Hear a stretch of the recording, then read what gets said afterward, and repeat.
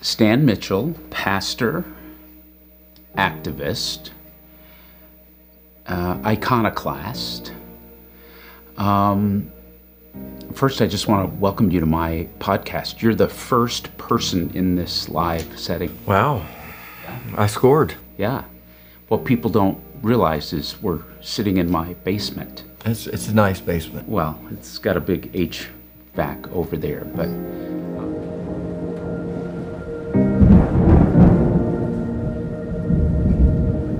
I, uh, you and I have had a friendship, I think close to a decade, maybe a little shy of a decade, and uh, we went through a lot of things together. You were ahead of me a bit, so you helped mentor me in my own faith deconstruction. But Stan, here's my here's my question. Um, what do the evangelical biblicists, you know, kind of our old community, when it comes to all the deconstruction that is happening uh, around them and prevalent in the states in America, what is it that they're maybe not getting as to what is happening all around them or why it's happening? Wow. I'm glad you started with an easy question. Might as well. What are they not getting about deconstruction? This phenomena? Uh, it's probably not a new phenomena, right? It's been around for a long time. But it's taking on its own iteration right now, coming out of the evangelical community or on the periphery of the evangelical community. I mean, the language of what they don't get about it, I don't know that that's the approach that I would take as much as I would say their perspective on it is definitely different than yours and mine. I mean, that's an understatement. I mean, I, again, projecting back onto them because I was an evangelical biblicist. That was my entire life, five generations, six generations deep in that. What is deconstruction?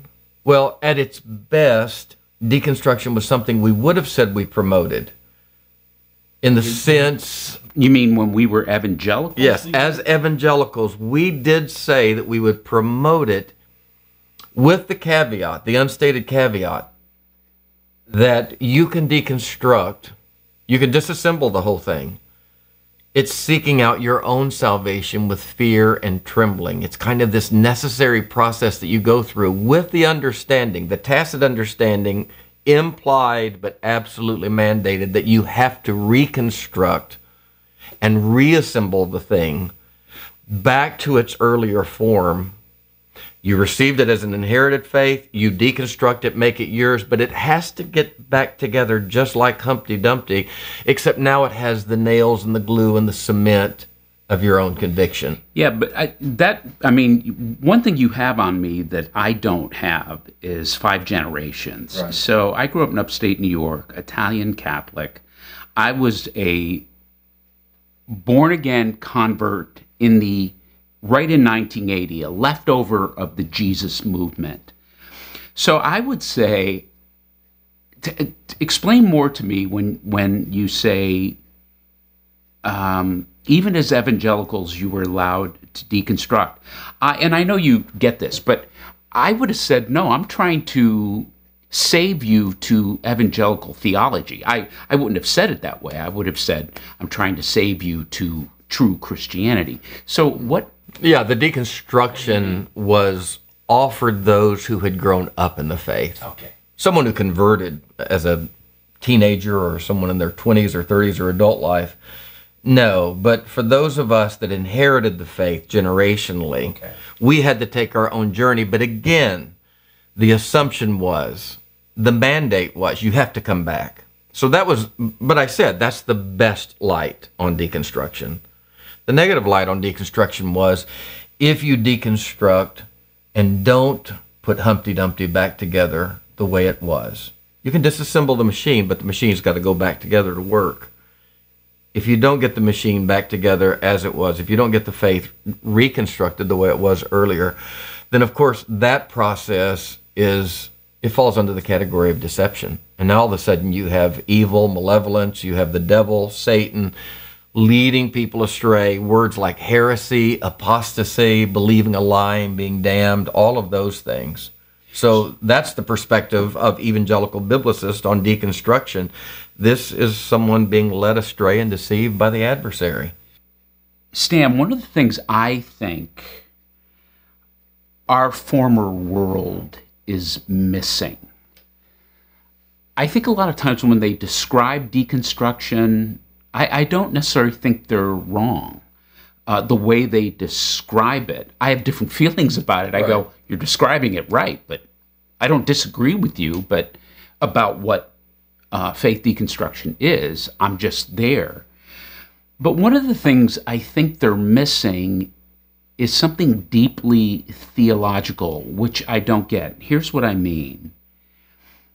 When asked why people deconstruct, they might say it's church trauma, and it would certainly include that. Uh, clergy abuse, which would it would include that. Um, ecclesiastic um, extravagance, megachurches, or you know the narcissistic uh, pastor. They're not necessarily wrong at that. But in their defense or apologetic, they never, it seems to be, they never turn it on their own theology, meaning the reason some people are deconstructing, a lot of people are deconstructing, because the actual theological constructs that we call the truth or historic orthodoxy is no longer making sense to anybody. That's the thing I think the apologists are missing. And then they double down on the orthodoxy. I think one of the hard things in that is I don't know any of my evangelical apologist friends, and I have them, who haven't in their own way done some measure of deconstruction. How so? Many of them have moved from fundamentalism, extreme fundamentalism, to a more moderate evangelical position. Everybody gets to deconstruct as far as they feel comfortable with, and everyone understands themselves to be the moderate between the extremes. I mean, conservative is anybody right of me, and liberal is anybody left of me, and that there's a narcissism in that for all of us. But you know, when I look at my life, deconstruction, I was born and raised an apostolic Pentecostal in the denomination, the United Pentecostal Church. Now, that is a group of Pentecostals who broke off from mainline Pentecostalism, if I could use that phrase, in 1915 because our people, my ancestors, received a revelation about the Godhead. And we don't have to get into the weeds with all of that the long and short of it is my group, the United Pentecostal Church, Oneness Pentecostal people, that denomination was founded in 45, believed even Assembly of God, Church of God, Pentecostal Holiness, Foursquare, other Pentecostal denominations were lost. My deconstruction began as a 10 or 11 year old boy, not trying to sort through, you know, deep apologetics I was trying to wrestle with Uncle Bud and Uncle Junior and Aunt Charlotte and Aunt Barbara, these good Church of God, Assembly of God people who, by our estimation, our family was very divided. These people were going to hell. I stretched as far as I could between 11 and 13 years old, and my heart and mind widened to where I could accept that Assembly of God, Church of God people who also spoke in tongues may be included in the bride of Christ. I lived there a while, and before too long, I began to have the same sensibilities and angst about Billy Graham and Max Lucado and Chuck Swindoll, evangelical people who didn't speak with tongues. Meaning you started to go, How are they going to hell? Yeah, these good people. Billy Graham, come on, how was he right? Sure. I stretched as far as I could. Yeah, yeah and I moved from Pentecostalism through the charismatics to the evangelicals, and then I began to read moderate evangelicals like Campolo and Yancey. Sure. And I stretched as far as I could. It was always a stretching. Now, here's something interesting. Every group I left said my stretching was backsliding. Every group I came to said my stretching was growth. Of course. So your point is this stretching.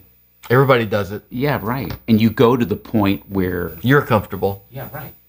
And then you make that sacrosanct and impose that same measure on every other person. Yeah, right, right, right. And so you you think this is a lot of what's obviously going on as the current stream of American evangelicalism, how it's reacting to uh, kind of this faith shifting, evolving, uh, faith deconstructing phenomena that we see. There's no way around the fact that for 2,000 years, Christianity at a cellular level is, is very much inculcated with fear about the afterlife. And the afterlife is generally vouchsafed for us by proper belief, not by works, but by believing the right thing. We have, for 2,000 years, there has been a heavy onus on believing the right thing. Believing the right or wrong thing is the difference between burning forever and living in celestial paradise. That burden on believing is something we do carry again at a cellular level. So, anytime we're stretching in our beliefs, there's always this undergirding trepidation that I could get too far out there and my relationship with God could be jeopardized by crossing the line. I, have I've journeyed with many groups upstream in this deconstruction flow. Every group goes as far as they can, and if you leave them, there's always this at least tacit acknowledgement that hey, we were we were doing fine. But the phrase is always either stated or unstated. The phrase is you've gone too far. Yeah, yeah. You know, I think um, I think this could even uh, be with evangelical moral absolutism. Uh, certainly, when you and I were evangelicals, we did believe there was a, a moral standard and um, a moral absolutism. I certainly held that and uh, preached that. But yet, when when we're intellectually honest about it, kind of using your point towards morality, um, the history of the Christian church has always been evolving its morality. It's always uh, changing. Have you read, um, are you familiar with the book Moral Combat by Marie Griffith? You've talked to me about yeah. it before, and it's on my reading list because of you. Yeah. And basically, she only covers the 20th century um, maybe a little post Civil War and slavery, but basically her thesis is is how American evangelicalism was always late to the party on things that everybody eventually agreed was a good morality, whether it was slavery, women's suffrage, black voting, birth control, um, certainly by the time you get to civil rights in the in the 60s, uh, interracial marriage, uh, feminism in the 70s, um, and now, of course, dealing with LGBTQIA plus uh, in the 90s till now, and you know, it's kind of like. Um, even a conservative evangelical, a conservative evangelical, what sane conservative evangelical would stand in any pulpit in the United States and say a person with a Chinese background should not marry someone with a Caucasian background. No sane conservative evangelical minister would teach that today. Yet in the 1960s, um, that could have easily been done on interracial marriage. So my point is morality, you're stretching, uh, we're constantly changing and evolving and stretching, no?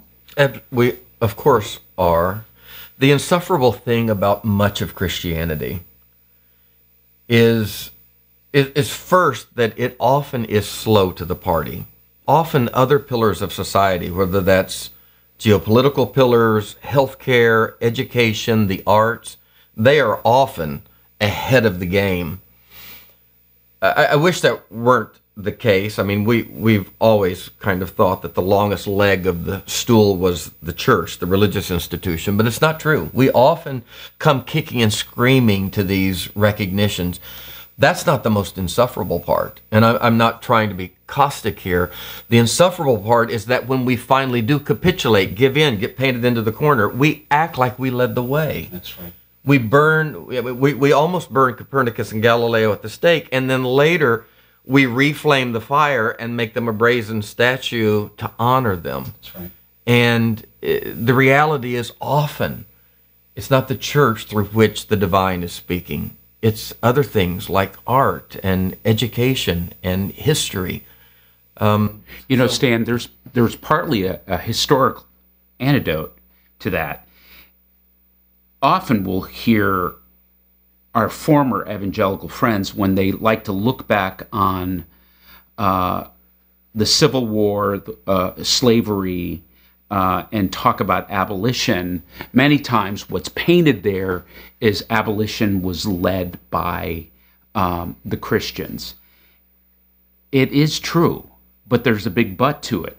Most of it was what was considered progressive Christians of Right. the North that would have been thought as apostate from evangelical Southern view. And so, so what people think is progressive, what evangelicals think is progressive now and apostate, the Christian abolitionists, they like to claim in retrospect, if they had had that same mindset, would they have sided with them? So, yes, it was Christians who were part of abolition, but they were considered the progressive Christians and apostates by many, if not most Southern evangelicals. my father is a dear man, um, and I'm I'm fine for him to see this podcast. We have an open relationship about our differences. But he asked me a few months ago. He said, "Why? Where did all of this come from? This deconstructive process, whatever you call it. Where did it come from? Your advocacy for LGBTQ people in the church." He's asking uh, globally, universally, or He's why my son? why. is my what happened to you? uh, to my son? Yeah, I said, You did. He said, I didn't do this. I said, Yes, you did. I said, Dad, you raised us in the United Pentecostal Church. Wonderful people, good people. But you and mom were always dissidents. Dissidents on the periphery. I said, You would grow a mustache, and our pastor wouldn't let you pass the offering plate. You contended that if we couldn't have facial hair, that we had to shave off our eyebrows. Pastor even said he had never thought of that before. By the way, was that was that you couldn't have any? Wow. Yeah. Okay. Yeah, for different reasons than George Steinbrenner and the Yankees and professionalism. We just, it was a sin. Was there was there some sort of Old Testament I'm sundry sure law? there was. Okay. I said, Dad, Mom, Mom was our organ player, best Sunday school teacher. And Aunt LaRue, her sister in law, like a sister to her, was having migraines, and the neurologist said it was the weight of her hair that came down past her knees. And Aunt LaRue and Aunt Janice and Mom, as young women in their late 20s, studied 1 Corinthians 11 because their entire life they had been taught that a woman could not trim even the dead ends of her hair, or she would lose her glory. Her submission to her head was through the uncut hair. 1 Corinthians 11, it's a plausible reading of the text.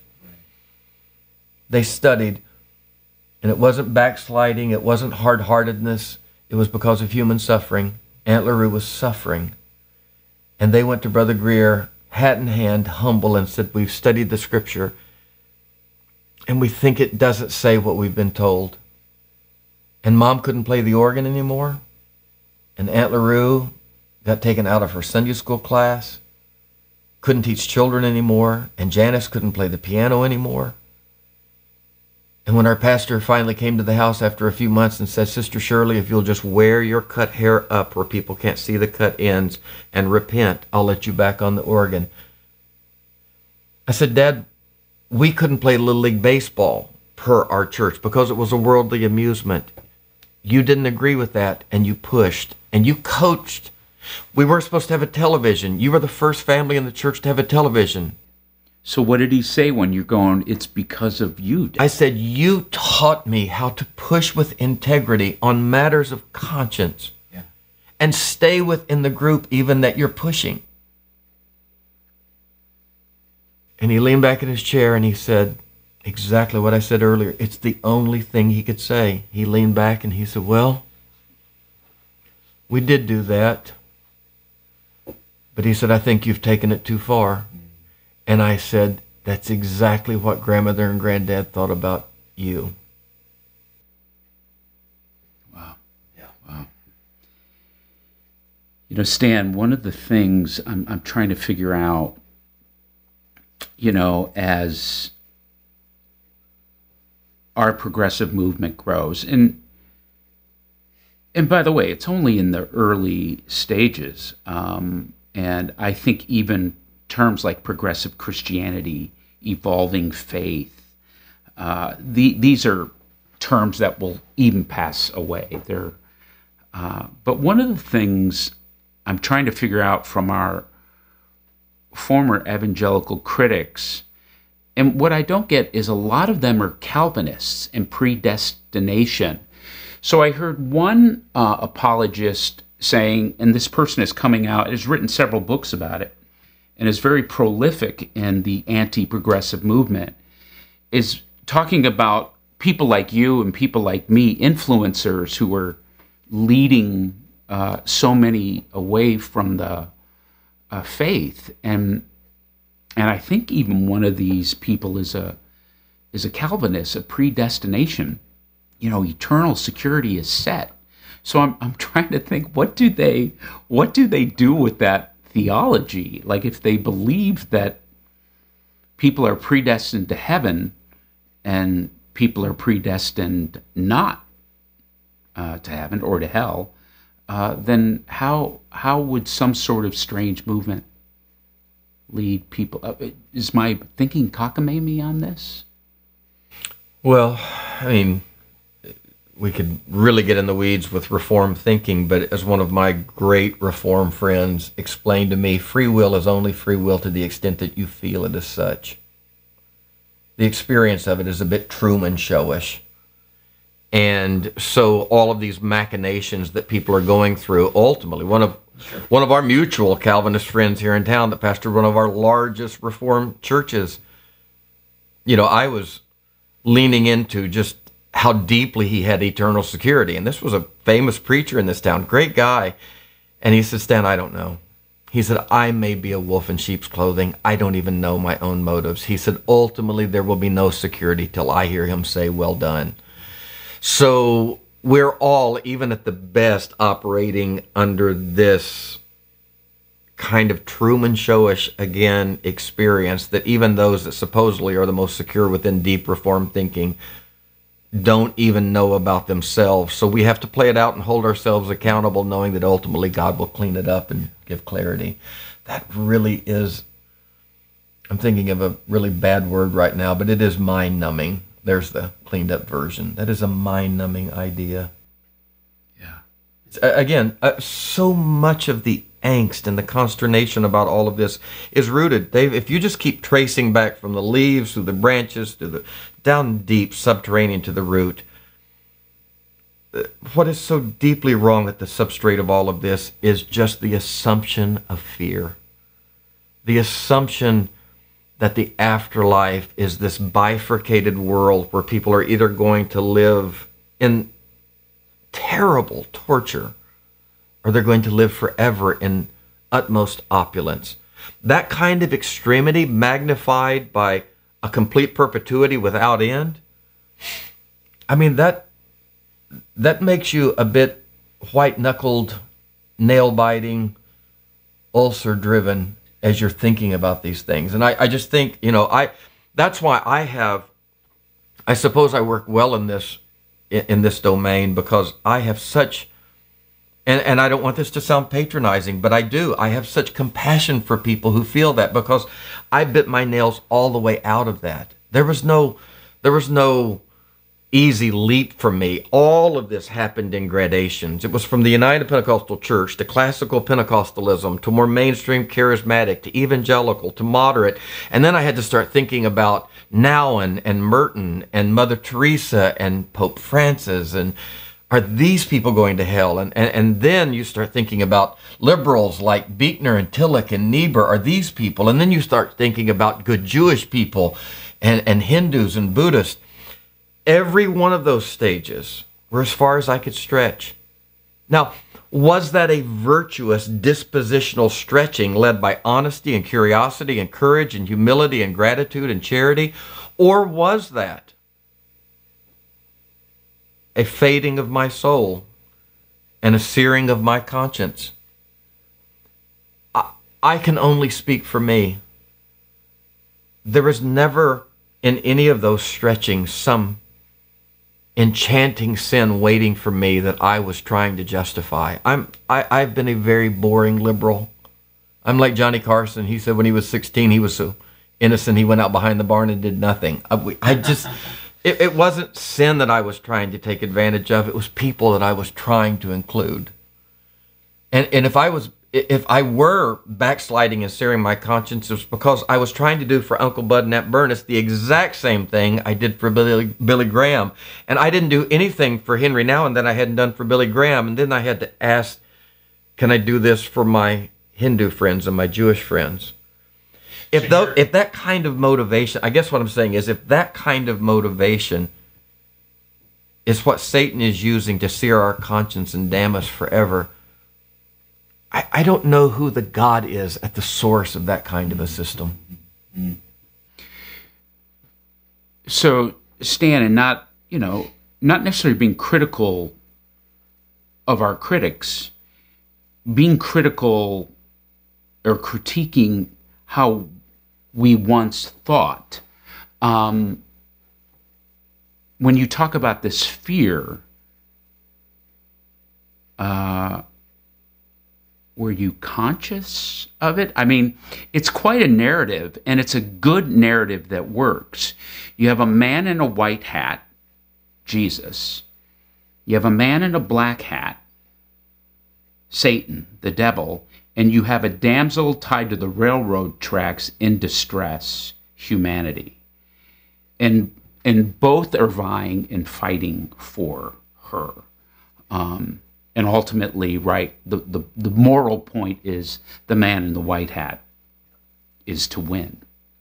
Um, I mean, that's quite a heroic narrative, and then it's uh, it's also a narrative of peril and fear.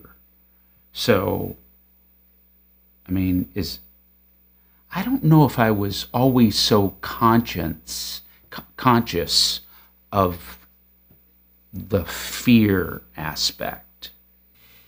Well, I, again, I think there is a difference. I do come from a holiness Wesleyan background that was always jeopardized right. in the maintaining of their salvation. Sure. So there's going to be a bit more nail biting on that side of that side of things. Of course, I mean, even on the reform side of things as my friend. You know, he's like, I'm not sure till I get there if I'm one of the sheep. And then, you know, the whole lordship salvation thing. Well, yes, eternal security, but if you live like the devil, it's proof you never really were saved. So there was plenty of fear being spread on in all of these camps. You, as someone who was you were not inculcated with these things when you were two and three and four and five and six years old. I'm 50, I'll be 56 next month, and I still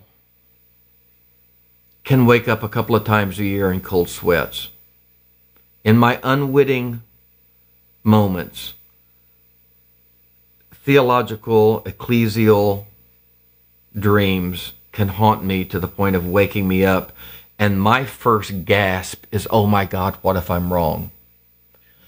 those concentric rings. When I turn 56, I won't be. I, I won't cease being 55. I'll be 56 and 55 and 54. The xylem of a tree. Life goes through all of those rings, and that seven-year-old is still inside of me. That's right. And I, I just I, I try to make sure to let every ring of the concentricity of my life come to the table. I just try to make sure the 55 year old is the one chairing the meeting. Yeah, no, I, I, And that those wounds are still in there. And I think when Jesus said, "Except you become a child," he wasn't talking about some abstract child that we're all trying to become. I think he's talking about our own child. And I cannot intellectualize that five year old boy. When I was in second grade, Dave, I missed many days of school because of a spastic colon. When it was finally isolated for what it was, it was religious scrupulosity. A preacher had come to our church earlier that summer and did this whole thing about the afterlife and the end times and all of those scary pictures up on the wall and all of those things that as a six seven year old boy i so took them in like like a black wool sweater and lint in the air. I just I was Velcro. And it, so much personality involved. My brother was sitting beside me and he was Teflon. Great guy. It just rolled off him. I took it all in and it gave me a spastic colon because I was worried about getting off the bus and mom not being there because that meant the rapture took place. And I was, that's a six year old child carrying that kind of trauma. It's a lot of trauma and it is uh, a trauma, uh, that kind of anxiety. You know, I mean, growing up Catholic, we had our own uh, sense of fear as well. There was venial sin, there was mortal sin. Uh, you know, Christ was most mostly illustrated and depicted still on the cross. I can remember our uh, St. Peter's church in my town of Lewiston, New York, the old one before they built the super hit ni- 1970s version. But the Jesus on that cross was, uh, it had to be a 8 foot, 10 foot figure, uh, fully lifelike illustrated blood. And I remember just being captivated by that. And then when they built the super hip, cool 1970s church, that was all uh, modernized. So we had our our sense of fear, but Stan, when I converted to really evangelicalism versus I became a Christian, I don't wor- give that wording anymore. When I converted to evangelicalism, mine was very much what was coming of age, the you know the super hip cool American Christianity. It was a leftover from the Jesus movement.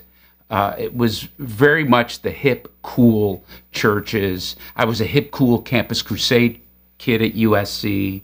And then I came up through the whole church growth movement uh, of the 90s and 2000s, which were the black box churches, fog machine worship, you know, uh, you know, what became, you know, uh, I worked at Willow, so from the Bill Hybels uh, version of church growth all the way, of course, to then the Andy Stanleys and Craig Groeschel's and to what it's now.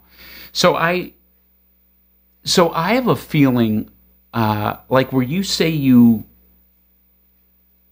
you you feel for it or feel for those people, which I totally get. It's your heritage. Mine is a sense of um, like, damn it, I I was duped um, because I view my conversion now not as, you know, the old testimony. I view my conversion as really a psychological need. My parents' marriage had blown apart. I was the youngest of four. Um, uh, my grandfather, who was the patriarch of our family, had recently passed. My parents' divorce was hard and bitter and hurtful. And so I was at a very much a relational need. And one thing evangelicals do well to their compliment that if you wear the team colors and join the team, they will love you. And so my heart was so then I left New York, uh, got to USC in Los Angeles, and got involved with young, fun, great, loving, cool kids. But my process now in looking back, uh, I have to go through a different kind of of hurt. Uh, well, let me serve as the interviewer for a moment because I, something does intrigue me about what you just said. You felt duped. Okay, my interpretation of duped is that there is this vulnerable human, you, and there is this malevolent, ill motivated person who really doesn't believe all of this stuff, who is intentionally deceiving you. Mm-hmm. That's that's not it. That's not what you're talking no, about. No, yeah. It's not then a mal- It's not the duping is the idea. Okay, so we're not angry at people. We wrestle not with flesh and blood, but against principalities and powers. I, have had to work through my own. I, it was easy for me to untangle the people because I had myself as an example. I knew how sincere I was when I was believing those yes. things. And it's not hard for me to give what Brene Brown calls the generous assumption or the benefit of the doubt, we called it. I I just don't remember a bunch of hypocrites trying to deceive me. I remember really good people with really limited ideas probably doing the best they could today. And I don't want to take away their capacity for change and be, you know, eh, take that away from them. I just, I don't. But I, don't, I, I can't look back and remember any raging hypocrites. I remember good people doing the best they could with the information they had. And I feel incredibly yeah. grateful that somehow I, I got out. Yeah, and and no, this, your point is is well said and not only well received. It's it's what I experienced. I didn't. So when I say I feel duped, excuse me, it's not. There was no person going, "Ha ha, we know this is BS, and right. we're going to fool this young kid, uh, college kid." No, no, no, no, no. These were people that were convinced as well. Where I say I feel duped, and maybe duped is not the right word. I don't know if I have a right one, but it's just that I remember I said what I what I think um, what what is it our old evangelical community is missing from part of the deconstruction uh, they tend to double down on the theology, let alone look at it. I look at some of those theological, doctrinal things I believed then. And I go, I don't believe them now. I did not have a family that raised me in those, even a even a, a Catholic family didn't raise me in some of those. So now the duping was how could my young mind, my young intelligence, even my young connection to God, because back to conversion, I always felt an existential, kinetic, connection to God. Even laying in my bed as a six, seven year old, I would ponder existential questions that I didn't even know were existential. Who am I in the universe? What does this all mean? Is there something I pondered, which is very human? Um, so I don't look back and go, I regret having a spiritual relationship with God. I don't even have a regret over using Christian spirituality as my vehicle to that. I have no regret from six to my age now. The regrets are that I was part of a version of Christianity that I was told by people is the truth. Now, they believed it sincerely and still do, but I can still have some angst over that. I, I think I think we can. I the tension between owning the wounding and yet not having to go to the jugular of ill intent and motive the capacity to look and say that was not good. But I wasn't some ultimate victim to a malevolent group of people. Nor was I. I. No. When we lift out of this conversation from the immediacy of our connection to our people, this world, this time, and we back up to 30 to 30 to 40,000 feet and look at religion writ large, human spirituality writ large, the different variations of religion, is a very biological, ecological, anthropological, sociological, psychological. There is a framework for all of this for our species as an evolutionary part of biological life. We are a species, an animal species, that has to wrestle with whatever level of consciousness we have. We have to wrestle with things like fear of scarcity and, and what scarcity might mean. It might mean that my neighbors are competitors. It m- might mean that my my family become enemies because we're vying for what we have assumed is a limited resource. I think if there is a gospel, the gospel is probably that there's enough. Because I think the underlying assumption that drives so much of what we do, because I even think religious exclusivism is a type of competition born out of a fear of scarcity. Sure. Uh, the elder brother didn't look at the father and say, you shouldn't have thrown a party for the younger brother. He never said the father shouldn't have done that. His complaint was the party had never been thrown for him. And and we just assume that he's mad about this. I think most of us isn't this why this is somewhat psycho-spiritual? It's Absolutely. not just we have a I mean, part of the story of the prodigal son is a psychological one as well. Ab- absolutely. It's a journey home to it. He came to himself he didn't come to God because God's never left. He came to himself. That's right.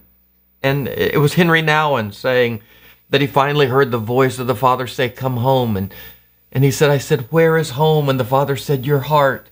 And Henri said, I can't live there. I mean, this was a running gay priest trying to get away from so much. And he said, The Father gently spoke to him and said, Henri, I'm God. I live here. If I can live here, you can too if, if there is a salvation, it's this it's not this linear journey to become somebody we're not. It's this circular journey to come home to who we always have been. I agree. Yeah. And but in that journeying as a as a biological species, we have reason to fear a sense of scarcity or, or lack of access to resources. And when that happens, we get incredibly competitive to one another. And and religious exclusivism is just scarcity that God's heart might not be wide enough for all of us. I mean, even the Revelator's vision of heaven 1500 miles by 1500 miles by 1500 miles. Well, it sounds expansive, but when you start thinking about 8 billion people, I don't know that we can all fit in there. Yeah. And so, right. you know, Jehovah's Witness double down on 144,000 and we get very numerical about this because there's always a sense of limiting. So religious exclusivism is is just trying to divide up God's heart and make sure there's room for us. And, and heaven, we're just all kind of deed claiming our spot there because there may not be enough. What if the gospel is there's enough? What if the good news is? I mean, that's what we that's what we know. Even in this world, there's enough. The world's not starving for food that doesn't exist. It's starving for food that we put down our garbage disposal. It's distribution, not it's lack of access, and that lack of access, I don't believe the lack of access is driven by hatred as much as it's driven by fear. I don't think the elder brother really hates the younger brother as much as he's never felt the party of grace for himself. If he could have ever felt it for himself, he would have been thrilled that his brother could experience it. And isn't that uh, uh, isn't that also Genesis 1? In our evangelical days, we were told that, that the fall, Genesis 1, 2, and 3, uh, was the pride of humanity, where I just, that that's the story of the fear of humanity. That's, that's um, and of course, uh, you and I don't believe that's a uh, uh, a literal story. It's part of our ancient origin story to tell us, for us to find where we're at. But even that story is a story of two human individuals uh, in fear of, of their place uh, in the world, with God, with each other. Um, so, Stan, I take it from listening to you. Uh, so, where are you at on heaven and hell these days? I I love life so much. I don't want it to end. And what part of that is personality, what part of that is some intuitive spiritual longing, I don't know. I just know I love life and I would love for it to go on. I also have no sense of certainty or deep conviction about that. Of an afterlife, you mean? Yes, I'm looking over your shoulder. I saw AJ Levine, AJ Levine's name up there. Years ago, I was in a class with AJ, and AJ brought in one of her friends, a guy named Gerd Ludemann, who's an eminent New Testament theologian. Gerd deconstructed his way beyond Christianity as a New Testament academic, beyond being an evangelical biblicist, Christian, theist. Gerd finally deconstructed all the way down to just kind of a raw corporeal humanism. Great guy, great mind, but AJ is still a wistful believer, you know, in, in spirituality and the divine, just as I am. She does in Judaism what I do with Christianity. And Gerd was there as a friend to her, but he kind of cast a friendly aspersion toward her and people like me. And he said, Well, AJ, as a religionist, is a sentimentalist because that's really what liberal progressive theologies of any faith discipline are. Any religious discipline finally creates this liberal progressive iteration that sentimentally and nostalgically cannot let go of Santa Claus, so allegorizes and metaphor, metaphorizes the whole thing just because it can't let go. And he said so much of all of that is just rabid sentimentalism and it's it, it's kind of like a, a methadone clinic. It's a step down unit. You're moving. It's a halfway house back into real life. And from Gerd's perspective, that's letting go of all the silliness and the mythology. AJ said. She said, Gerd, you absolutely could be right. And she meant that. She said, I don't know anymore the invisible world, God, the afterlife, I have no sense of knowing, no sense of certainty. She said, but in the absence of certainty and knowing, she said, I do believe. But she said, I have to admit, the more I study and the more I go into prisons and the more I see human suffering, she said, there are times that the belief meter falls beneath 50%, it dips down sometime in the teens and single digits. And she said, it's not right to call it belief at that point. But she said, in the absence of belief, she said, I still hope. I hope that there's some sense of meaning that we're going, people who've lost small children are going to see them again. I hope that there's a world where lions will lie down with lambs. And, but she said, I do have to admit, I've listened to you enough and others like you. Sometimes even the hope drains out of the bottom of my feet. But she said, in my unwitting hours when I dream, these better thoughts have never left my dreams. And she said, Gerd, for me, religion is no longer about knowing and even believing. It's about hopes and dreams. And in the end, I think these are the only hopes and dreams worth dreaming.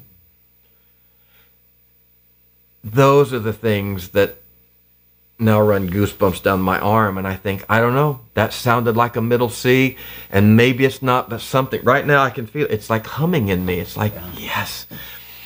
Spirituality for me is not synonymous with theism or religious expression. Spirituality is an intuitive concern about and reflection on matters of ultimate meaning. Where did this come from? Where is it going?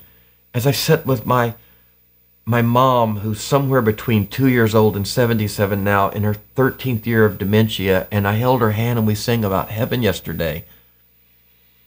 I didn't feel like I was leading her astray or being led astray by her. I, I feel like it's not less than all of those things I once believed. I think it's probably more than all of them. And that kind of reflection about somewhere between where we came from, where this is going, is there any meaning there? Is there any morality? Is there anything or anyone to whom we're responsible? I don't know that those those kind of sentiments and feelings don't lead me toward positions of theology. They lead me toward dispositions of soul, like curiosity and courage and humility and gratitude. And it just feels like the Sermon on the Mount, even from Jesus, was more dispositional than it was positional. And I don't I don't even feel a need to evangelize that or fix my conservative friends. Nobody fixed me. I don't I, I, don't want to be the new liberal who's just as evangelical and fundamentalist as I, I used to be. I don't want to swap one certainty for another. I, I haven't really moved. My biggest move isn't from theological positions about providence and substitutionary penal atonement to other theological positions as much as it's just kind of a wistful, peaceful, difficult, and yet relieving letting go of certainty. And that, for me, nobody did that for me. That was a journey, and I'm so willing to let other people take their journey. I sat with a young couple this morning that I'm marrying in May, and one of them is still deeply religious and spiritual, and the other has been so hurt. It was a lesbian couple, been so hurt. And I, I felt no need or obligation or capacity to change either of them. I looked at two human beings that were good, and I thought, they're on their journey I don't feel ahead of them, behind them, over them. I just feel with them.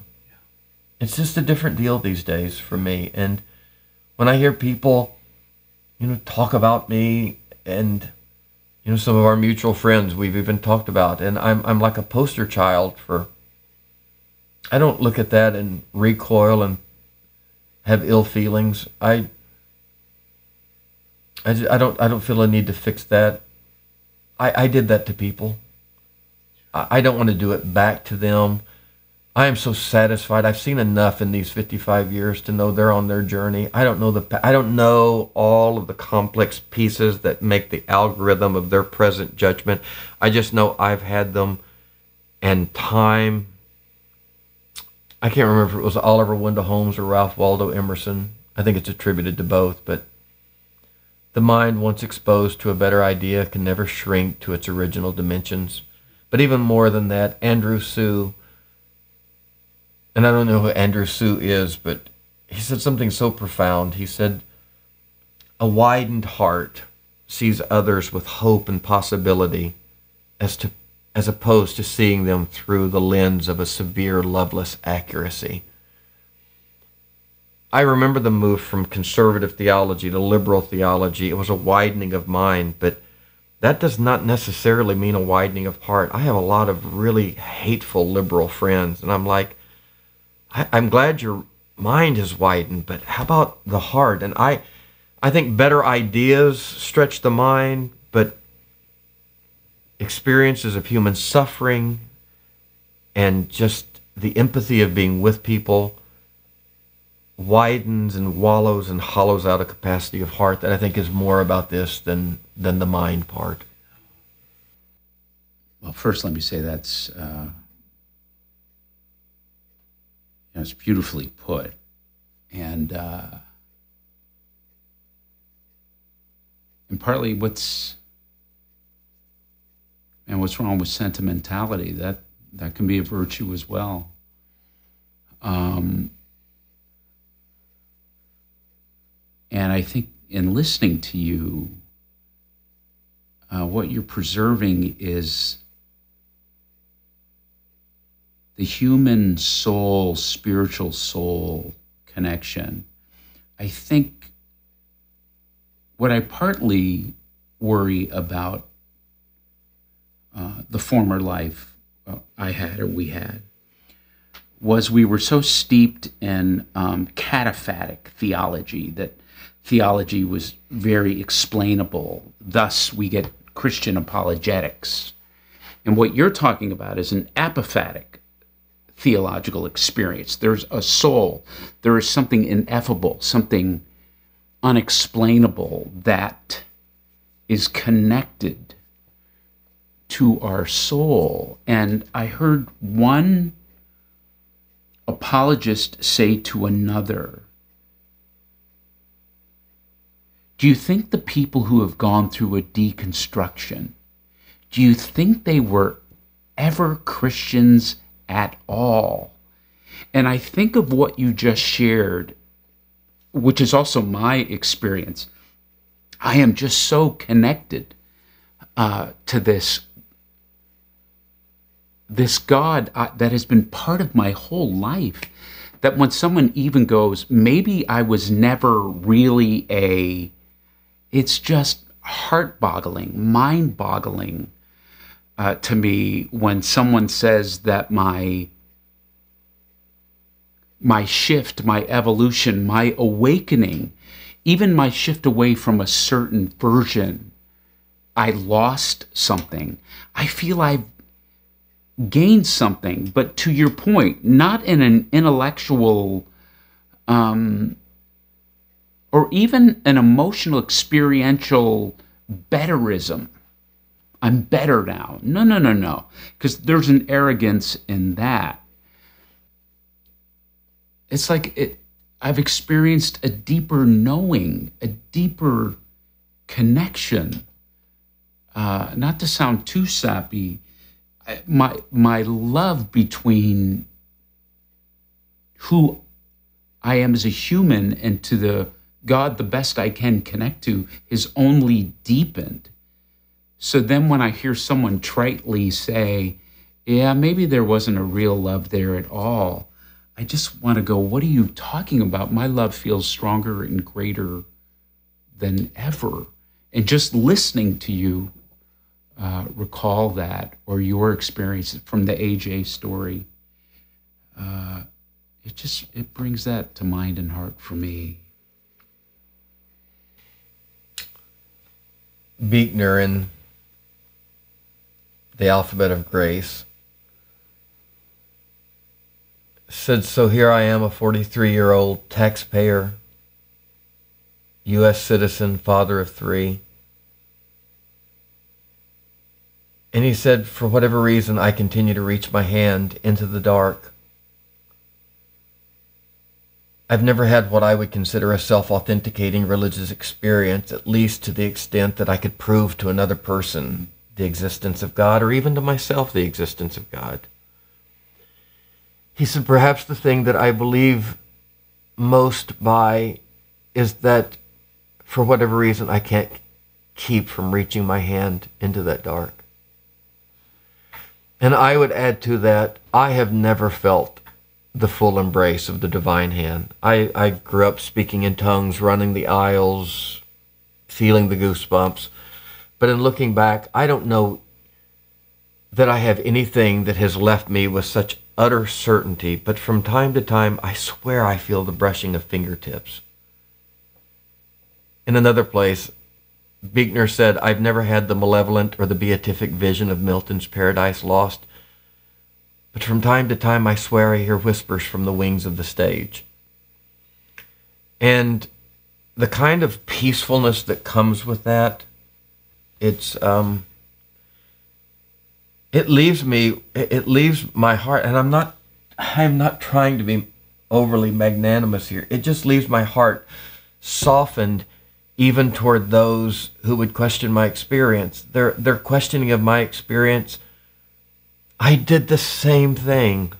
And I remember where it was rooted. I, I have been that elder brother examining and unwilling to go to other parties, but I know where it came from for me. I mean, that whole story started with Jesus was sitting with a group of people he considered friends and religious authorities walked up on that scene. That's the way Luke 15 starts. And the religious authorities looked at Jesus. I mean, if there's anything that kind of, positions me where I feel in Christianity and the work that I do now to to to be an articulate representation or presentation of what I'm trying to do is that scene. Jesus is with his friends. Religious authorities don't approve of those friends. They walk up to Jesus and they essentially say, If you're an emissary of God, I mean, a holy God separates from sin, right? You can't commiserate like this. And Jesus, with great compassion, said, Can I tell you a story? And he turned his attention from his friends, who the religious leaders believe were a motley crew of sinners. But that's not the way Jesus saw them. Jesus, they were his friends. Jesus was a friend of sinners, not a friend to sinners. I mean, I guess God would be a friend to sinners, but that's not the big deal. He was a friend of sinners. That means when these people were talking about their friends, they mentioned Jesus. That God would be comfortable with sinners, sure, God. That sinners would be comfortable with Jesus, that tells you a lot more about Jesus. They're like, yeah, this guy named Jesus. Jesus said, well, I'll tell you three stories actually. Woman with 10 coins loses one, leaves the nine, goes and looking for it, goes, looks for it. Heaven rejoices when she finds it. Numbers change. Shepherd has a hundred sheep. 99 are safe. One's lost. He goes looking for the lost one. To make it really simple, he said a man had two sons. And he sets them up not not to make fools of them, but to open their hearts and minds. He sets them up because the woman goes looking for the lost coin, the shepherd goes looking for the lost sheep, and here's a son that takes everything and goes to the far country, and he's obviously the lost one, and the religious leaders are getting it because Jesus is setting them up that these people he's with are the lost ones that he's out looking for. But the story finally culminates. The father never goes looking for the kid that went to the far country. He even financed the trip. The son makes his circular journey, comes home. The father celebrates him, and the father says somebody's missing. And he goes looking for the lost son. The lost son was the elder brother. Jesus didn't look at the religious leaders and say, you know what? I'm going to reverse this whole deal. You've always been the gatekeepers. You thought you were going to heaven. Now you're going to be left out and they're going to go to heaven. He didn't say that. He said, These people that you have left out, they're going to enter the kingdom ahead of you. So, all of my friends that are self righteously maybe judging me, I don't think I'm going to get there and they're not just because they think they're going to get there and I'm not. It's not. It's not like tit for tat. Jesus said these folk you don't think are going to get there, they're going to enter the kingdom ahead of you. You're going to get there.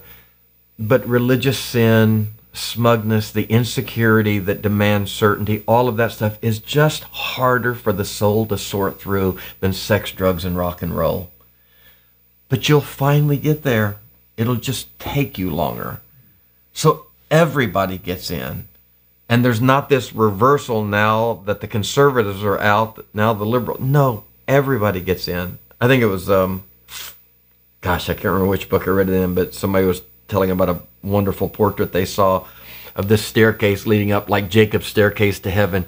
And at the top, there's angels and there's all of these vagabonds dancing, and it's obviously just the hoi polloi of earth that has made their way. Some of them are just even streaming up the stairs into heaven, and they obviously look like all the people we wouldn't have thought would make it to heaven and at the bottom of the stairs are religious people, obviously religious people with arms folded, looking with disdain at who's dancing up the staircase in the celebration in heaven.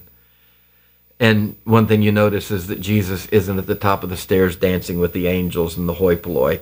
He's at the bottom of the stairs looking gently to the religious conservative authorities and inviting them they just couldn't imagine getting on that same staircase.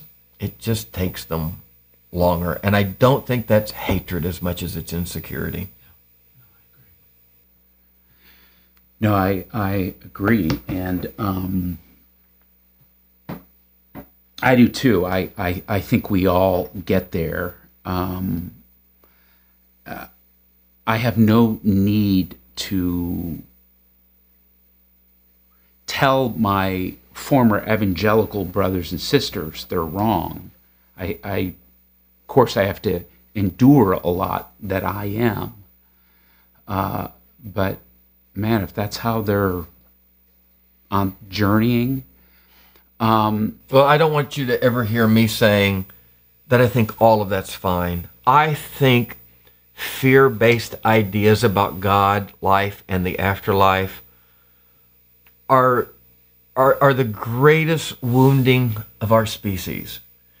And I do believe they are appendixes and wisdom teeth that we are evolving out of. And I think they have damaged me. I see them damaging people. I want those ideas evolved out of. The people who are in that evolutionary process, I, I, I want to push them while also being compassionate to just how difficult that process has been for many of us. It is a difficult thing to let go of for a lot of people, a lot of personalities, a lot of backgrounds. So, no, the ideas are damnable. Yeah, and I and I know you well enough to know that exactly the ideas, but your heart and love for people uh, is evident. So much so, I think where I want to turn this to, Stan, is you have become quite, because of all the things we've been talking about, and uh, you've become quite an activist and an advocate um, within Christendom for the LGBTQIA plus community. And I know your experience, but I'd like you to comment on it. All this humanness, all this love, all this marginal, marginalizing of people, bad ideas, bad theology, they hurt people. Yet to tell someone that we know is connected to God, uh, one is God's child, but is actually having a spiritual experience with God that they are not um, is part of the wounding. So tell us about some of that, just the day to day conversations you have, the week to week conversations for the past number of years uh, with wonderful gay Christians uh, here in the States, around the world. And, and everything from the wounding to the hope that you're seeing? I um, was just at a Baptist church in Athens, Georgia, this past weekend. Milledge Avenue Baptist Church, formerly Southern Baptist Church, that has made its way to full inclusion for LGBTQ people. And it's an SBC church? Came out of the SBC, was planted by an SBC church, and um, now would be a co op Baptist, but well heeled Baptist people that have made their way to full inclusion. I sat there Sunday in that service, and afterwards we had a, a, a, time of soup, and then we came back in for a panel discussion. I sat beside a pastor who happens to be a lesbian, this PhD Baptist pastor of the congregation. It was just lovely, and there was so much hope and I sat with the young people in the in, in the youth class before even service and just listening to them talk. Uh, there there's so many there's so many uh, reasons to have hope in all of this. I've also done 25 funerals in the last 40 42 months for LGBTQIA people who died at the intersection the train wreck of their gender sexuality with their faith. And the church was incredibly complicit in that process. Speaking, were those mostly suicides? All. All suicides. Yeah, talk about the pain.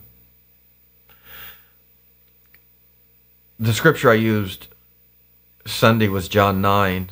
It's such a it's such a picture of this entire story. It's one of the reasons I think our our text really is sacred. It's it's not because Adam and Eve is the story of two historical people. It's because it's more brilliant than that. It's the story of every human being who's ever lived. I mean, who takes scripture more seriously? The one that's trying to isolate two people in history or the one that says, no, my God, I'm reading a 4,000 year old story and it's making me quake inside because it's me.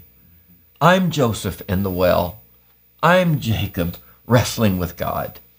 I'm Jesus in Gethsemane. I'm the one that the Spirit falls on and says, You're my beloved Son. I mean, it's our story. I'm the father, the younger son, and the elder in the story. Yes. It's brilliant. That's right. Jesus is walking down the road, and John 9 says he saw a person. I just, I love that simple language. He saw a person even before who was blind. He saw a person. It makes me think of the time he was in Simon's house and and he's there with the religious leaders and the woman who was considered a sinner in town walks in, falls down at his feet and just weeps. And the juxtaposition, I mean the feng shui of the humans in that room were the religious guys were looking at her thinking, what kind of a weird fetish is this? Where has she met Jesus before? The sinner from the city down doing something to his feet they're watching her. She's enthralled with Jesus, and Jesus is watching them. And he looks at Simon and says, Simon, why do you think these things in your heart? And then he asks them the question. He said, Have you seen this woman? Do you see this woman? John 9 says that he saw a person, not a problem, not a dilemma, he saw a person, and immediately, Dave, those closest to him, I mean, what a picture. Those closest to him, his closest followers, the immediate disciples, within arm's reach of this suffering human, they look at Jesus and say, you know, this begs a question. I mean, it's like the Arminian reform debate. This begs a question. We know that he's here because of sin. Human suffering is the result of sin. We both sides, Catholic, Protestant. There are some things we agree on. Arminian, you know, Wesleyan, uh, Reform. We we agree on some things. He's here because of sin. Kind of the nuanced question facing us today in refined theology is can that be generational or does it have to come directly from him? Did he sin or did his parents sin? Eugene Peterson brilliant. And I know it's more commentary than translation, but I think God Almighty, when he heard how Peterson translated that text, said, Wish I would have thought of that. That's exactly right. Peterson said that Jesus looked at them and said, You're asking the wrong question. Immature or maturing religion is still trying to come up with right answers to wrong questions. It's like, oh my God. It's like Jesus, like I can't even we we can't even bridge to one another because you're you're thinking yourself erudite and profound and you're looking to me to give some sage answer. How do I give a sage answer to an inane question? That's right. And he turns away from his closest followers and he just heals the guy. He doesn't take him to church. He doesn't talk theology with him. He just heals him, and the guy goes about his business. And immediately the religious organization, this is not about Judaism and Christianity. It's about what humans can do with with all of this stuff, with power, with God, with human need. It's, the religious authorities heard what had happened. They they called the guy in I mean, I'm just I'm thinking about LGBTQ people. They called the guy in and they needed him to disavow his experience with the divine because it didn't happen under their purview. That's right. It didn't happen the right way. And there the guy is seeing for the first time in his life. He had to sit there and hear the people closest before the religious leaders got him, the people closest to Jesus, even these sincere disciples of Jesus, are talking about him in the third person. He's like, guys, I, I can't see, but I can hear. You're talking about me, all my suffering, all my pain, and I'm a theological problem for you. I mean, think about the picture. Jesus is seeing a person, and they see a theological problem. And he heals the guy. Doesn't even broach their theological problem. And then the religious leaders get a hold of the guy and say, because it didn't happen here and didn't happen our way, and you do not, we need you. I don't care that you can see. You need to disavow your experience with the divine. And the guy said that he couldn't. Think about LGBTQ people. They then called his parents in, said, You need to get a hold of your child. And the worst part of the story, I don't know what's the worst part of the story, but arguably the worst part of the story for me, and this is what I face with LGBTQ kids every day. Worst part of the story is when the parents who had, I mean, they held him when he was born. His mom, when he was a few weeks old, told his dad something's not right. He's not. They watched this little guy his dad lathed him out his first walking stick. They took him to the side of the road every day. They knew his suffering, and now he can see. And the religious leaders put such pressure on them to get in control of their son. The worst parenthetical in the whole story is that his parents equivocated and would not stand up for their son. And they said, You just need to ask, talk to him. We're not responsible. And the parenthetical is because they were afraid they would get put out of their religious group. The insult to the injury to these kids is all of the stupid stuff Jesus' closest followers say about them. The insult to the injury of the religious leaders trying to get them to disavow their experience and kick them out is that sometimes their own parents won't stand up for them because they're afraid they would get put out. They call the guy back in, and the guy says, I can't even, I don't know how to argue with you. I don't know anything about theology. I just know I can see. And maybe I can't come here and sing your songs and do your liturgies and all of that. But I'm going to go watch sunrises and sunsets and inchworms on leaves and and I'm going to distinguish between fuchsias and periwinkles and I'm just going to use these eyes.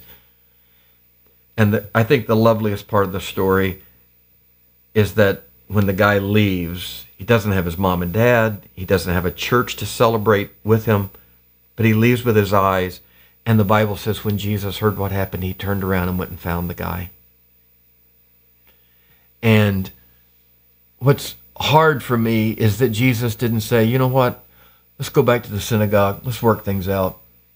Jesus looked at him and said, You're okay. We're okay. If you never go back there, I mean, that's that is that's a 2000 year old story and it's as contemporary and it, it is multiply that times 10 every day for me. Those are the private messages i wow. get and when i tell them that story plus or minus 3% they cry and they say that's my life. That's right. Now you take a 2000 year old story and it's so relevant uh, today and it's one of my favorite uh, New Testament stories. I love teaching it at our congregation the same way, almost as if Jesus, when they're debating, uh, is he naughty heretical? Is he naughty because he's naughty? Is he punished because he's naughty? It's as if Jesus is going, What are you freaking talking about? It has nothing to do with that. I love that story. And then, of course, as you as you recall, the incredible humility, uh, humiliation he continues to have to go through, as our gay brothers and sisters, trans brothers and sisters have experienced. And, uh, you know, I, I know you know that I, I made a, a, little film part of my graduate thesis uh, talking about um, the suicide tragedy amongst gay people, LGBTQ people, uh, r- religiously uh, instigated and then uh, a part of that little docu I made is to your point um, that when a a gay, bi, or trans kid, a kid is from a religious home and then gets parental and religious rejection from their mom and dad, the jeopardy and the actual life jeopardy that that puts that kid in. And you're telling me you did how many funerals in 42 months? I think the number's 25. And were they all family rejected as well? To some degree. Yeah, to varying degrees. Wow. I I did one probably a year ago where I went to southern Idaho and I thought I was going to go to the service with the family, but the mother couldn't go.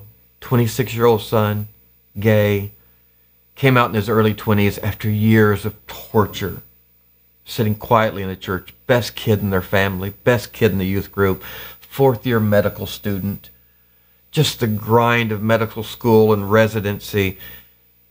I mean, the, the algorithm of suicide is always more than one variable, but the centerpiece was the devastation of always feeling himself insufficient and out of step with God because of the way he was naturally created that he could never embrace.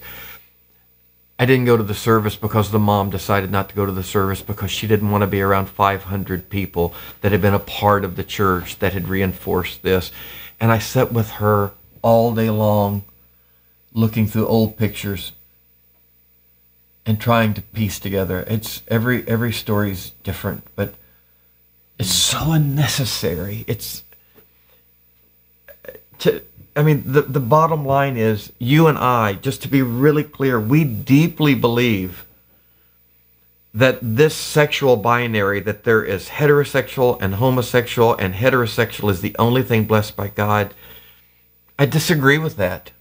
I, I just, I believed I, I deeply believe same gender, romantic, sexual, intimate love is as celebrated by God as its heterosexual counterpart. I just want to be clear about that. This is not something that's some broken part of our genome or something that God has to tolerate. it, it is.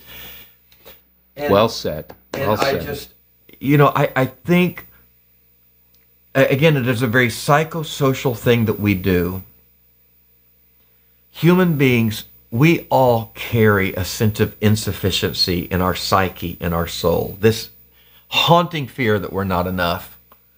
This haunting fear. And I don't know that that starts prenatal, natal. I don't know how sociologically driven. I mean, there's arguments about that. I just know most of us, by the time we hit kindergarten, we are wrestling with a sense of are we good enough, fast enough, smart enough, big enough, pretty enough and I, I think that sense of insufficiency, I would call shame, a sense of not enoughness, roots down because as a wiser man than I said, we don't have a soul, we are a soul. Our bodies are soulish. And I think it gets in us at a physical level. And I think I think the story you just alluded to, the garden story, they saw the fruit with their eyes, picked it with their hands, ate it with their mouth, digested it with their belly, and yet when the sense of shame and embarrassment hit them, what did they cover? Their loins. They hadn't even sinned sexually. It's interesting. They were made in the image of God, and that was described in Genesis 2 as naked and not ashamed. Isn't it amazing that the pristine soul was not described as naked and sinless? It was described as naked and not ashamed. Yes. Shame was the primary issue. Right. Which is tethered to fear, what we were fear. talking Yeah. The serpent didn't come to Eve and tempt her first to sin. He tempted her to shame. How? He said, What did God say to you. That's three things. There's God, there's you, and there's a communication between. Before he ever got to the tree, he was talking about her and God and the relationship they had. And he just picked the tree out and said, What do you say about that? She said, Well, he told me not to eat it or I would die. And the serpent says, And he tells her, You've been lied to. In other words, he's not first and primarily saying the tree is so great you need to try it. He's saying, What I need you to understand is you don't have the relationship with God you thought you had. You're getting shortchanged. You are being lied to. Now, what's interesting is her jump was not to believe that means God is bad. She believed she must be someone worth lying to because she still wanted to be like God. And the serpent even baited her and said, But if you'll eat of that tree, you'll be like God. So the first sin was her stealing something that she already possessed by gift. She was made in the likeness of God, but now she's told you're really not and you don't have the relationship with God. You're only worth lying to. But if you'll eat of that tree, you'll be like God. And she didn't say, Well, I don't want to be like God. He's a liar. She said, I want to be better. And then he won't lie to me. He won't hit me. He won't hurt me. I deserve this.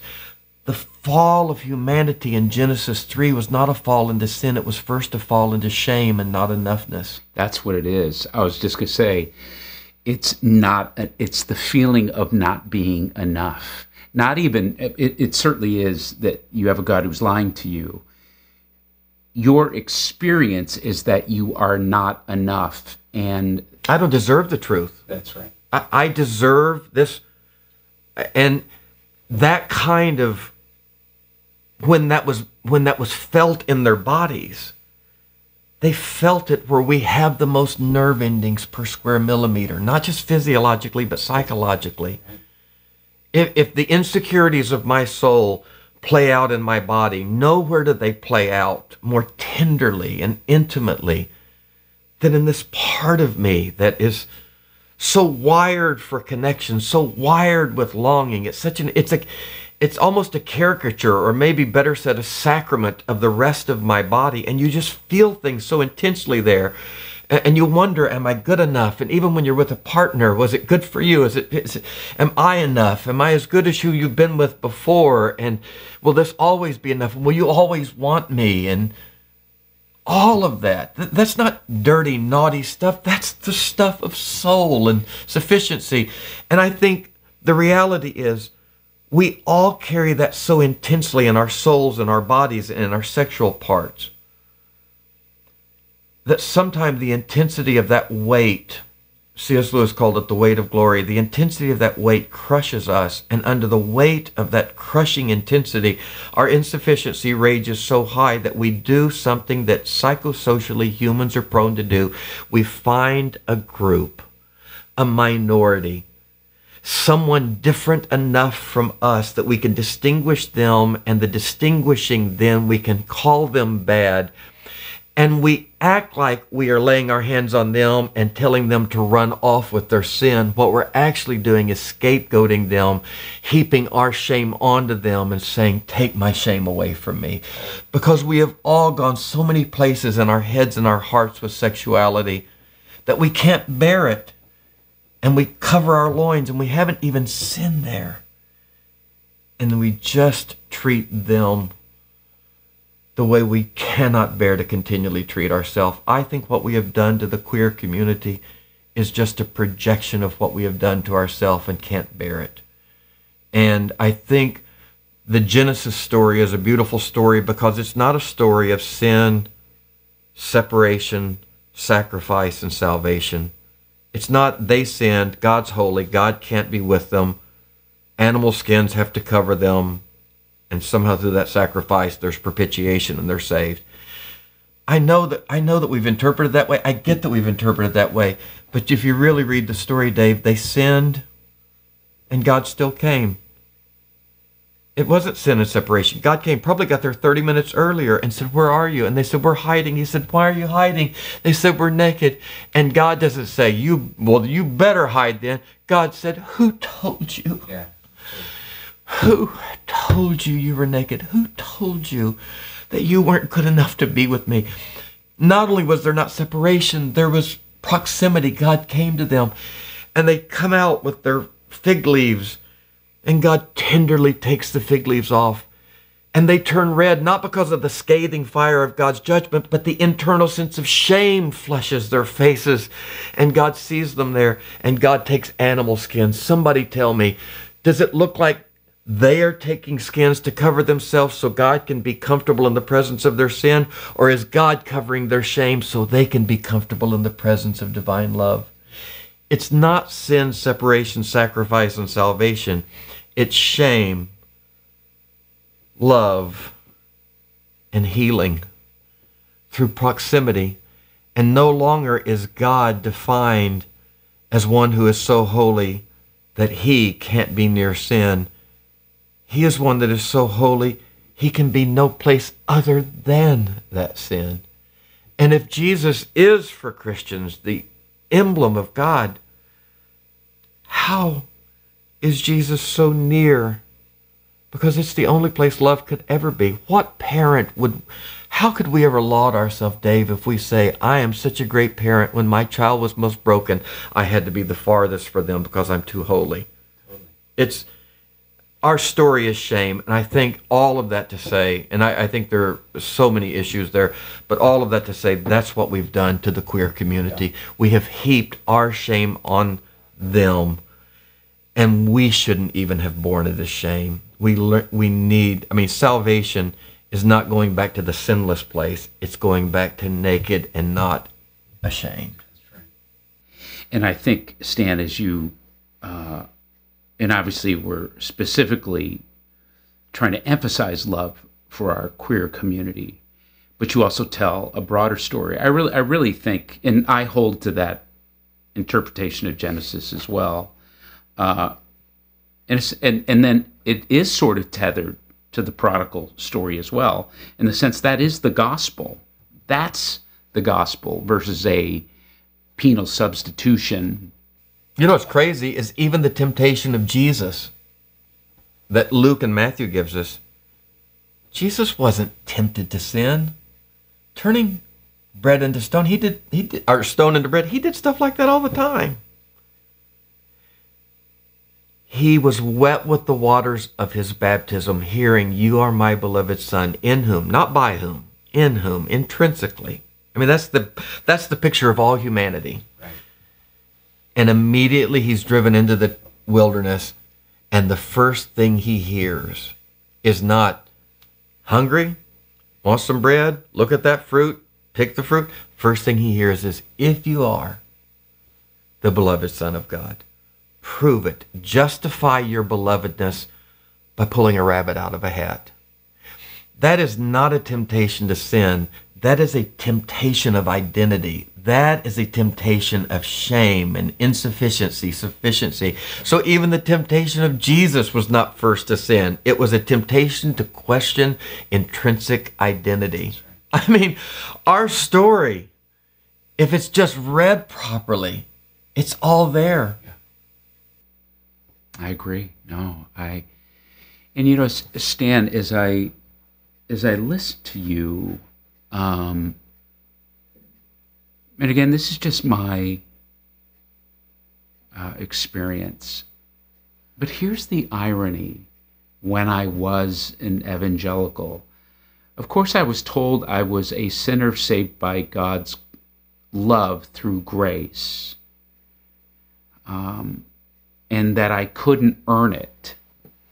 I was enough, meaning that's what was told to me at my born again salvation story.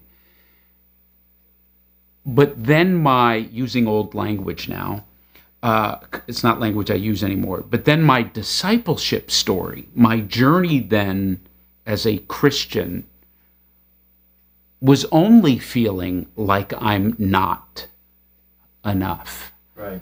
Um, and that was the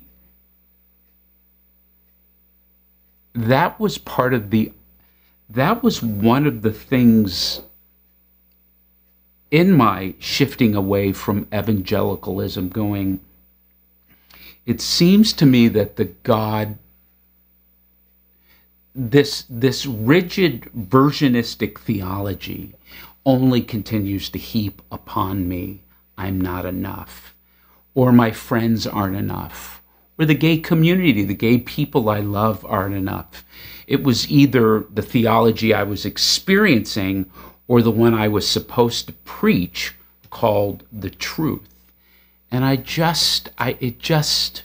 I think when, I, when you look at Eve, she's being told that she is separated from God that they don't have the relationship she thought they had. So she's being told a lie of separation. And then she's being promised a cure of restoration. And it's leaving her with this residual inadequacy.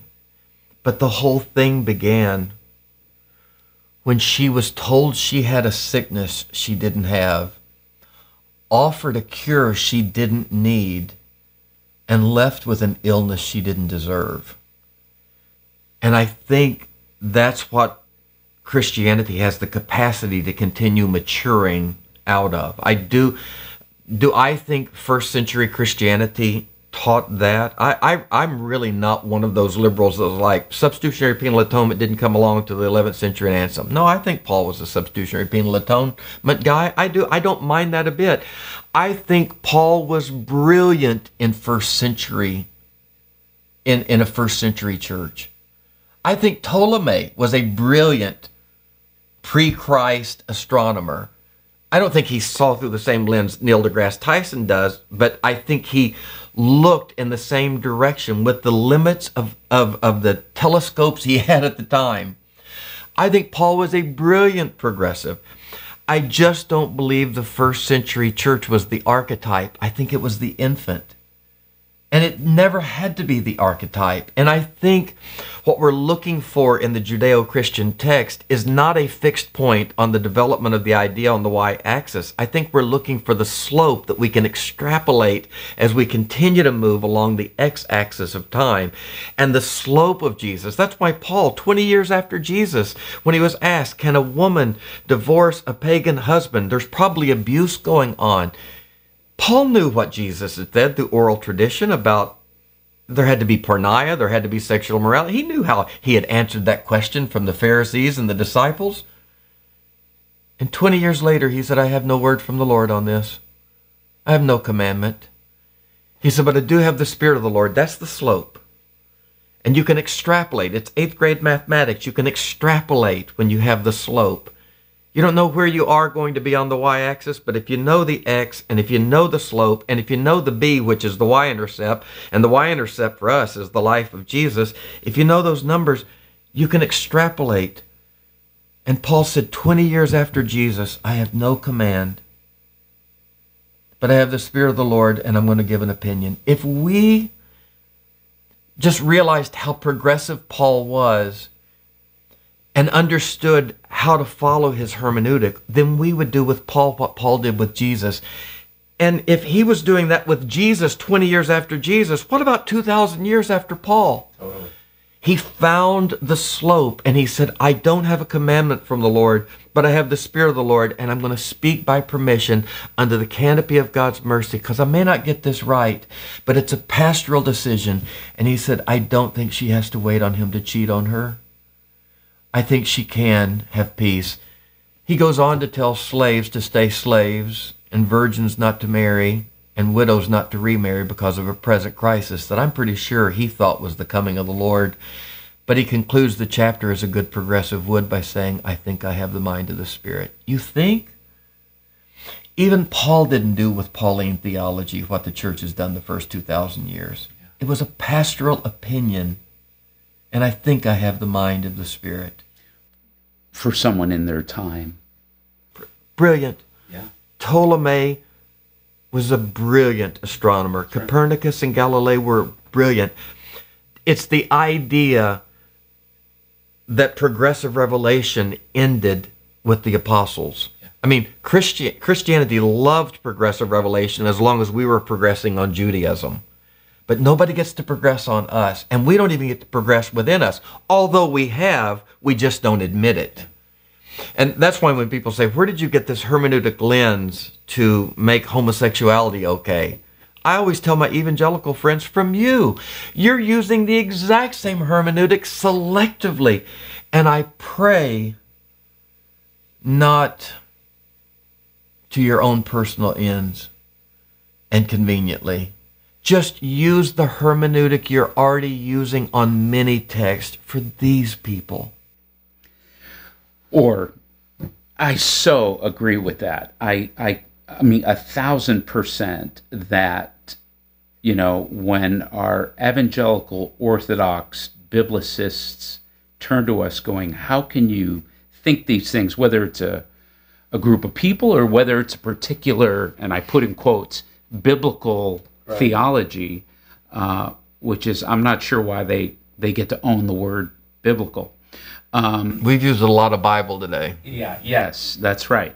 And uh, but no, I think I think the idea that faith evolving is not what's wrong with faith. Faith evolving and shifting is everything that's right with faith. And it's been happening since the beginning. Things that are alive grow, they yeah. evolve, they change, they transform.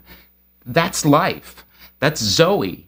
Things that are dead are in stasis. And yes, I I think, and really, what do I know? But I think yes, we are in a uh, we are moving towards a third millennium Christianity uh, theology, and it's shifting, and that's what's wonderful. And, and Jesus said that the night before he was crucified. He said, "I have many things to tell you, but you can't bear now." It wasn't that God was holding out it was their incapacity. We've raised children. There were th- there were discussions I was having with my 14 year old that my seven year old would say, "What were y'all talking about?" And I would say, "Just something between Bub and I." It wasn't that it wouldn't be true for her. It was you don't teach calculus to a first grader. It's not that calculus isn't real. Jesus said, I have many things to tell you. And I think we assumed there was this like ibid or asterisk that sent you to the bottom of the page of the footnotes that said, and all of that will be satisfied by the end of the first century, the death of the last apostle, the 27 book canonization, the creeds between the 5th and 8th century. That's not true. And nothing about church history indicates, from the Pentecostal renewal to the Stone Campbell movement to the Protestant Reformation to the Anabaptists to the Jesus movement, we've always and you don't have to wait till chattel slavery and women in ministry or the treatment of divorcees or queer people. Right out of the chute, the template is laid, full of the Holy Spirit. The early church is convinced that 99.9% of the earth's population has no access to the gospel unless they convert to Judaism. And they were wrong. And yet, the book of Acts is not just this story about this powerful outpouring of the Spirit, but it's this human frailty of being able to be completely full of the Holy Spirit and not get inclusion right. And yet, this beautiful capacity to be corrected and to argue with God and say no. And I mean, the brother of Jesus, James, and the elders in Jerusalem look at Peter and said, You shouldn't even have eaten with those people, much less baptized them. That's inclusion. But they got it right. They admitted they were wrong. When Jesus said, you have you have you have many things to learn. I have many things to tell you. But when the Holy Spirit comes, He'll teach you. Well, the book of Acts certainly indicates that with the outpouring of the Spirit, there wasn't a download of every ounce of information. And it's a continuing process of revelation that we are getting, and it's not when God finally gets ready to give it to us. It's when human consciousness grows to the capacity that we can see some things that we'd had no capacity to see before, and our hearts break. And I, I brutalized queer people in the name of Jesus. Saul of Tarsus was on his way to kill Christians. He could not have been more shocked when he heard a voice say, This is Jesus whom you are persecuting. I felt that when I heard from the bellies of queer people, I am Jesus whom thou persecutest. And all of a sudden, my righteous crusade for God was actually the filling up of the sufferings that were incomplete in Jesus. I was I was executing the crucifixion of Jesus, which was incomplete in queer people. These were not my opponents fooled by Satan. This was the body of Christ I was torturing. And it wasn't. And, and, and when our side says, well, you finally love them. No, I always, it, it, it wasn't a lack of love.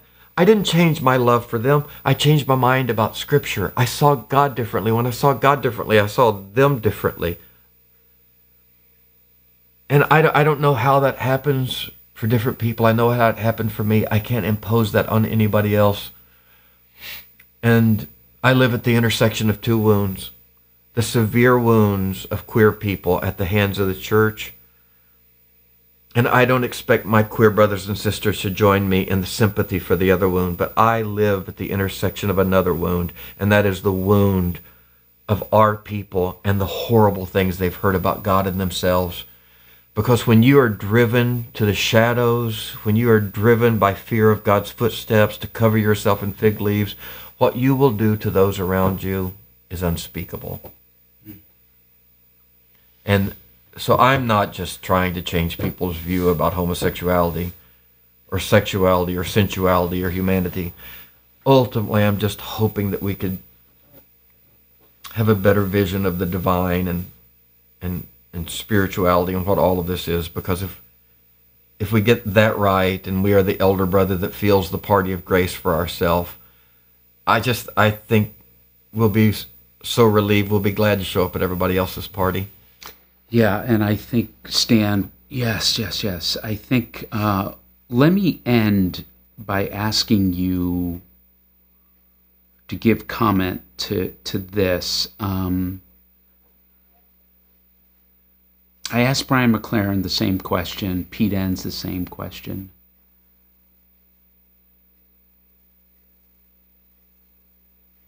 You know, those of us who have shifted in our faith were often say, you know, very trite things like we lost the faith, we fell away from the faith, we walked away from the faith.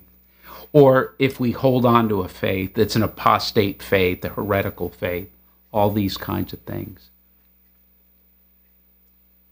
But I, I, I'm sitting with someone to me that I go, still has a big heart for God, still has a big heart for Jesus Christ, and someone from, you know, whom your Christian spirituality is still the center point of your existence. So, yeah, tell me, tell me about that. That what does your experience with Christ mean and still mean? What is your experience with your Christian spirituality? What do you experience? What does it still mean to you? Regardless of what any critic. Sure. And I, because the first thing, when you're asking the question, my heart is leaping and wanting to say something that is so beautifully positive to me and meaningful and life changing. It gives me comfort yesterday with I'm with my mom who has dementia and and I, I was at a funeral earlier burying an old friend. My heart leaps when you ask the question, and immediately there's this suppression of, but if I say it, people I love will be mad at me or judge me. It's, it's amazing that tension that I can still feel.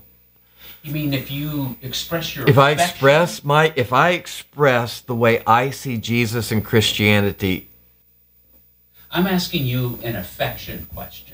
Yes, what is my affection for Christianity? Or, or no, that uh, that still could be delivered as a thought answer.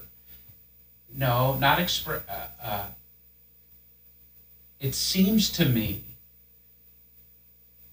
that you still have a deep connection, a deep attachment, a deep love for God that comes through your Christian spirituality. Tell me about that. Yeah.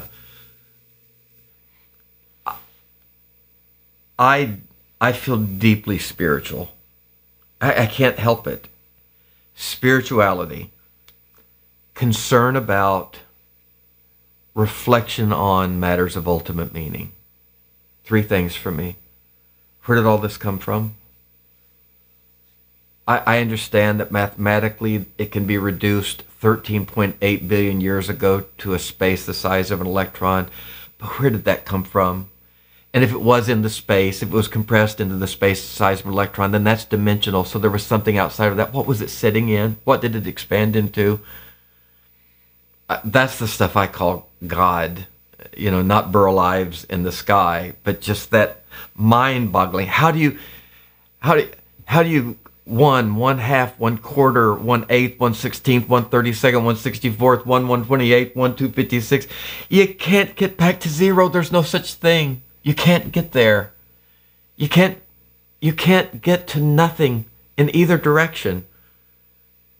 And then the deep meaningfulness that I experience with people, there just seems something enchanted about all of this to me.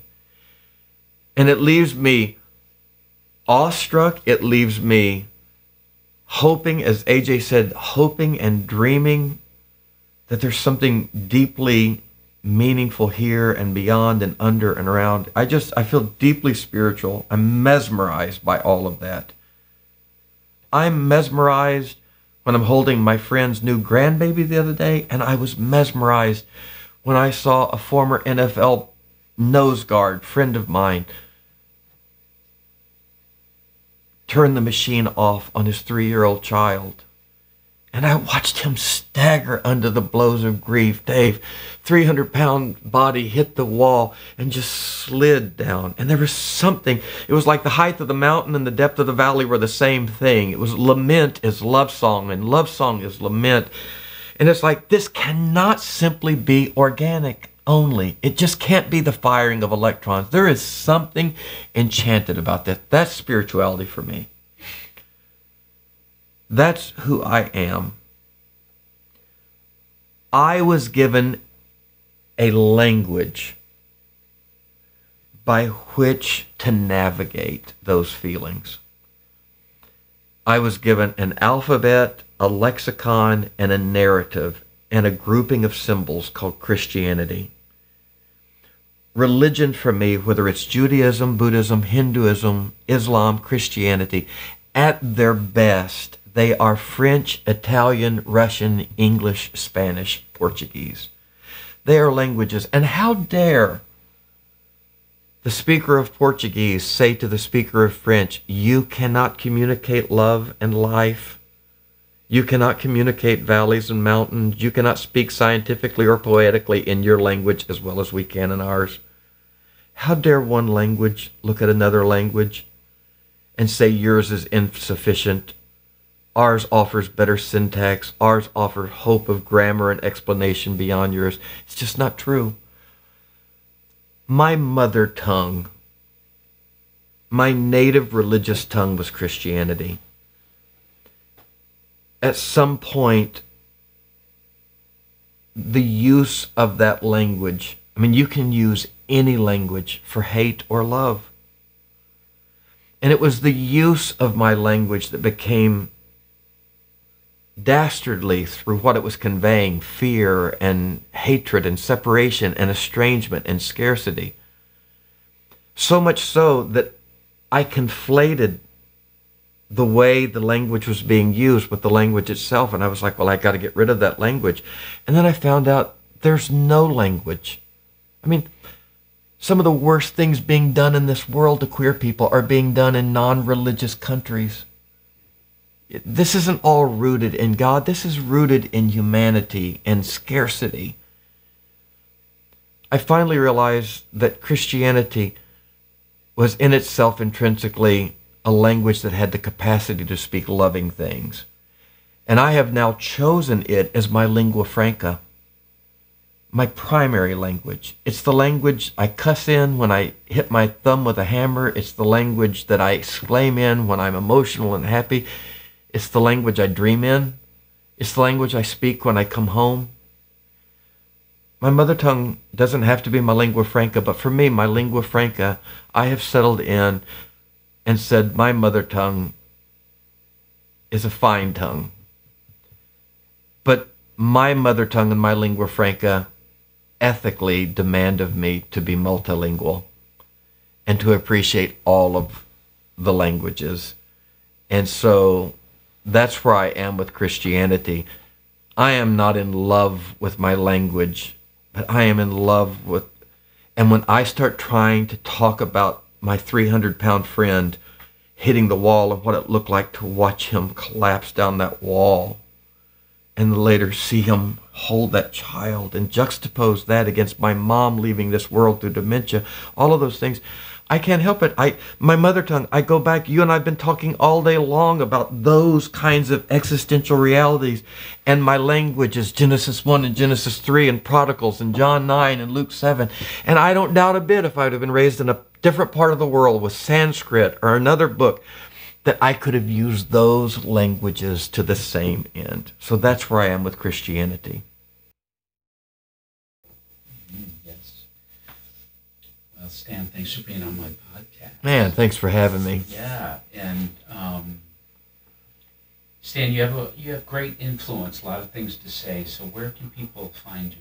You know, my life is pared down a lot. It's interesting how that happens, but the main place people can find me is on Facebook, believe it or not. And there's a reason for that. I am not a social media maven who's on all of the ele- you know, all of the different expressions of social media for a reason. My life and probably the last chapters of my life are devoted really to pastoral care and it's it's the thing I was always good at. There were so many things I was bad at pastoring, so many things I was bad at in you know leadership in churches.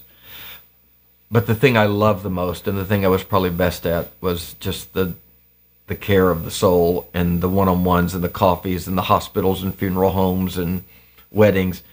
And I really get to do pastoral care now at that intersection of gender sexuality and faith and so the rubric is, Dave, I have a Facebook page and I just turned it over to the stories of my queer siblings because I realized as a cisgender heterosexual white guy, I had a lot of privileges. Most of them were kind of a social ill-gotten gain, and I could either jettison them and abandon them and say I am abdicating any connection to them because I I, I didn't deserve them. I got them on the backs of other people, people of color, women, but I decided instead of throwing away the platform, I realized I'm not a voice for the voiceless. The people that I serve have a greater voice than I do.